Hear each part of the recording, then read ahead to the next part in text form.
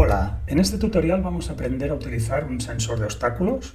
Es un componente muy sencillo, es un componente digital, da señal 0 o 1 y regulamos nosotros a través de estos potenciómetros cuando detecta un obstáculo.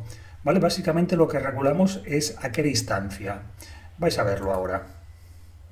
Lo pongo en marcha y veis que acerco un obstáculo y ahora mismo lo ha detectado a una distancia muy corta. Si quiero que pueda detectar obstáculos a distancias más largas, pues cambio la sensibilidad con este potenciómetro. Y en este caso estamos haciendo que suene este zumbador, que lo tenemos conectado en el pin número 3. Y recordad que podéis regular la sensibilidad con el potenciómetro. Fijaros que cuando detecta un obstáculo se enciende este LED. Vale, ya veis cómo funciona. El componente es este que veis aquí, tiene un emisor y un receptor de infrarrojo, los dos potenciómetros para regular la distancia y tiene cuatro pines, pero en realidad de los cuatro pines solo vamos a utilizar tres, el positivo, el negativo y la señal que la haremos entrar en el pin número 7.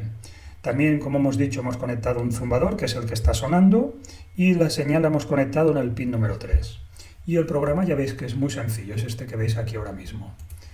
A ver, el programa básicamente lo que hace es que utilizamos eh, un condicional y si se cumple la condición del condicional, sonará el zumbador. La condición del condicional la hemos construido primero buscando el sensor, que en este caso es el sensor de detector de obstáculos.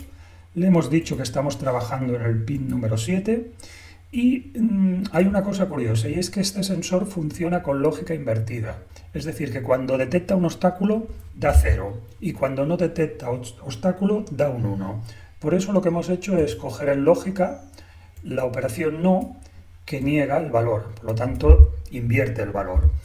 De esta manera, si detectamos un obstáculo, lo que haremos es que suene el zumbador y esto, por cierto, lo encontraremos en actuadores y es este componente de aquí. Tenéis varias órdenes relacionadas con el bloque del zumbador, pero la que estamos utilizando es esta y simplemente le estamos diciendo que suene a una frecuencia de 1000 hercios.